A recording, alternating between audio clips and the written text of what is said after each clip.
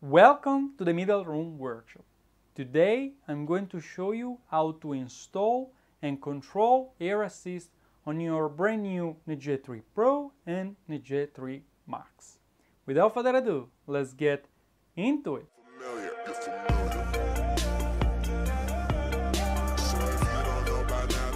Alright, if you got one of the new machines from NEJE, uh, either the NEJE 3 Pro or the NEJE 3 Max, which is the bigger brother than this one, uh, you have most probably received in the package one of those devices. This is an electro valve, so that's basically going to open and close the flow of air electronically. And as you can see in this new series of machine, we have um, a completely new main board with a bunch of connectors which are readily available to connect accessories, including the electro valve for the control of air assist. Now, uh, the installation is actually pretty straightforward, um, and so uh, the installation will be very brief.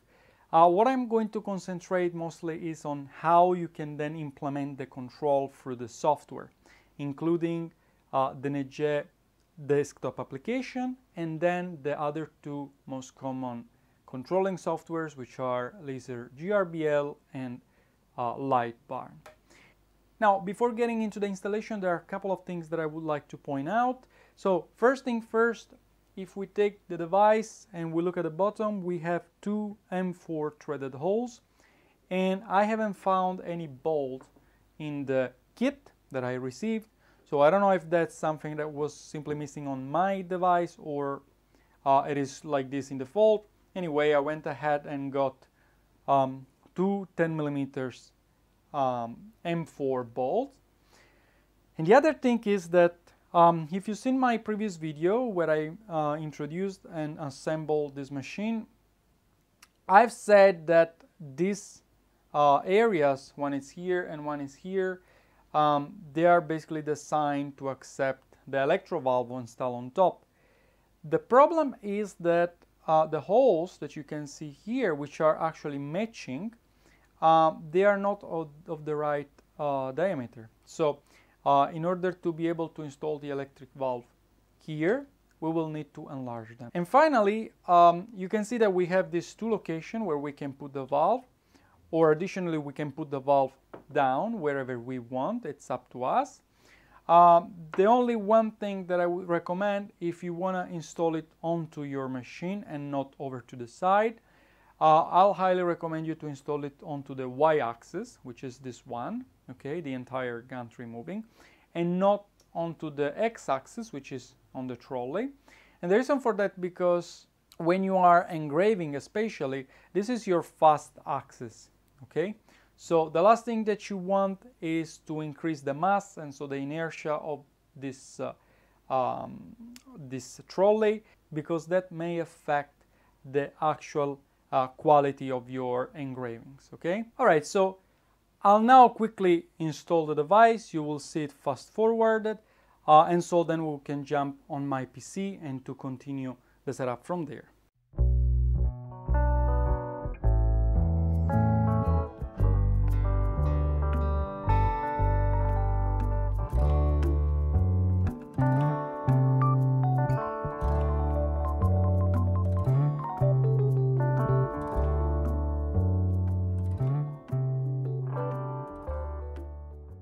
Alright, so I ended up using a single screw. For some reason I wasn't able to catch the other side, but it is strong enough and uh, I think that for the purpose it's uh, okay. Uh, now it is time to connect it. Um, as you can see we have a decent length of uh, uh, cable here. Now what we want to do is to connect it onto the M08. M08 stands for coolant or in this case with this type of machines air assist. So just target that and you are pretty much good to go. Now it is time to introduce the hose. Now this is the hose that ships with it. It's a 2.54 millimeters hose. Um, and so out of this hose you will need to cut a small piece to then uh, connect to the adapter. So I will show you exactly what to do Now you will want to pass the hose inside here, inside of the drag chain, so that it's nicely arranged. Alright, as you can see I passed it all the way inside of the drag chain. I passed it through this uh, small hole here on the plate. You can actually go from the other side. That's not a problem. Let me actually do it from here.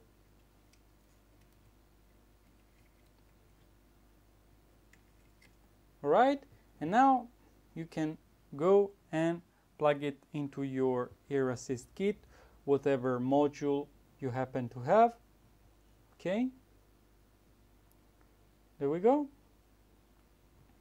And you're basically good to go. Now you have your air assist connected there. Now, um, so the hair will get in from here and will then go out from this side. So this is the side that should go to the laser module. So I'll do that right away. I'll suggest you to leave yourself a little bit of uh, length, okay? Something like this I think will be okay. Then cut it.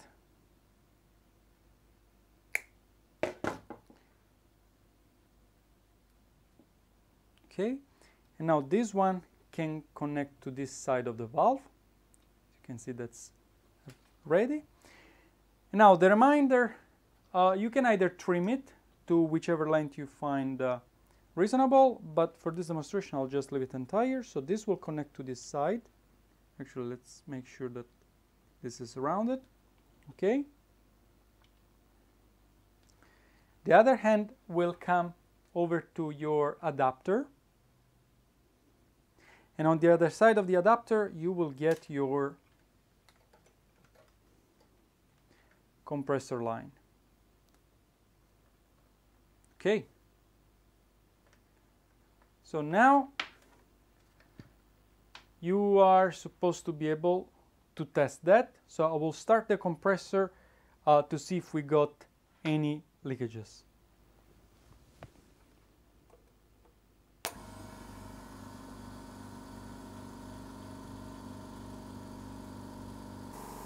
Alright, so everything is now done. Now uh, I have a small leakages on this pipe on the other side of the compressor. I'll need to arrange that later. Now bear in mind that those pipes that you are seeing here, they are not uh, designed to keep who knows what kind of pressure. So right now I have the uh, reducing valve and the output is uh, 3 bars. Okay, that's approximately um, 44, 45 psi.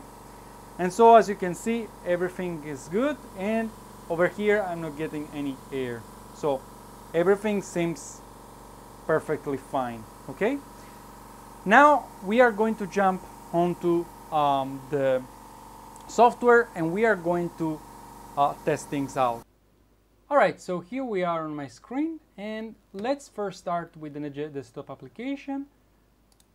This is the latest series. Let's wait for it. Let's wait for the machine to home. Make sure that nothing is on the way of the uh, machine while it moves. Okay. Now this is their software and so they made it pretty simple. Just go over to the settings and over here you will see among bunch of things set M07 and then set M08. Now as I said M08 will be uh, for the air. Now you have uh, two options here. One is to keep it on.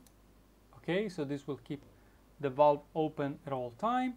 Uh, and the other one, the one that I uh, recommend is that the air will basically turn on when it's working and then will shut down with the two seconds delay. If you want, you can increase this number. So if you want that to uh, keep on for longer, then it's up to you. Once you're done with that, uh, and this is pretty much default with this new software, just click on save, okay, you can then close, and you can use your software as normal. So let me close now this. Uh, yeah, we can now say, say quit and switch to GRBL mode. And I'm now going to show you uh, LightBurn. Let's wait for it to open. let's connect our machine, J3 Pro, COM10. Everything is uh, pretty good. All right, so uh, in LightBurn, it's actually uh, very simple. Let me first move the laser to a more visible location. Okay, so you can see uh, the machine and the laser module. Then I'm going to draw a very simple line. Okay, something like this. That's good enough. Um, so now I'm going to move this where the laser is, all right? Now, as you can see here, uh, we have on our layer the hair with the toggle button on and off, so you can toggle them on or off according to your preferences and according to the layer. Uh, but before to actually start for the first time, we want to make sure that the right settings are uh, settled. So we can go over to device setting, and over here you can see there is this box air assist M08, M07. So you want to select M08. This is normally uh, the default one. So click on OK. And now I'm going to uh, engrave at very low power. You can see 1%, 1000 millimeters. It's just to show you what it's going to do. It's not a demonstration of uh, air assist itself. So I'll click on play.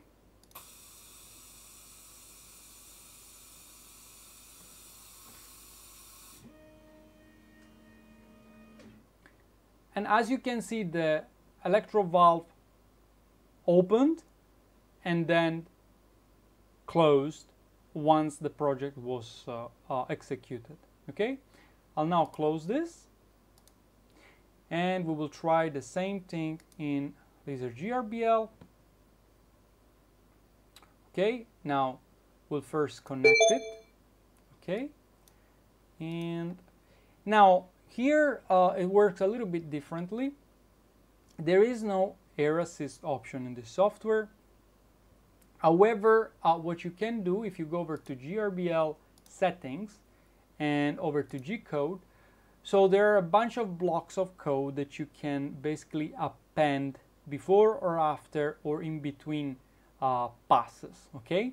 And so as you can see, every time we start a project, um, there is this header, the G90, which is absolute coordinate, which is being uh, put in front of the code. Uh, and then at the end, it's going back to the origin, okay?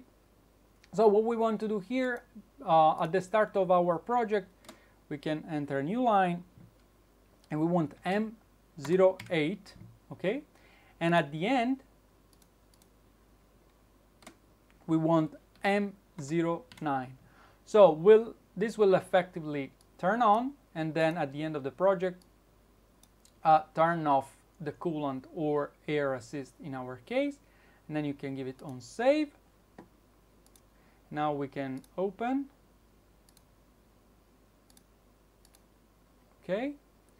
Uh, now first thing first I'm going to frame it.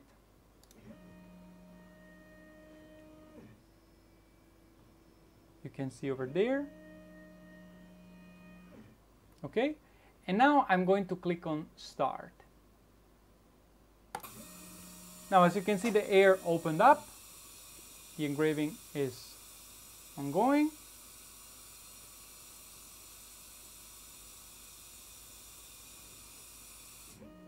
Returning and as you can see the air uh, is off. And so this is pretty much all about it now, as you can see, the installation is fairly simple and also the control for the software is simple. I think the only software that uh, uh, really get some extra steps is uh, Laser GRBL, where you will need to append this block of codes for the beginning and the end of the execution. But uh, overall, it's uh, very simple and it doesn't take long. All right, so this is the way you go about it. Now, I hope you found this video helpful. If you liked it, click the thumbs up button below. And don't forget to subscribe to my channel if you want to see more video like this one. Ciao for now!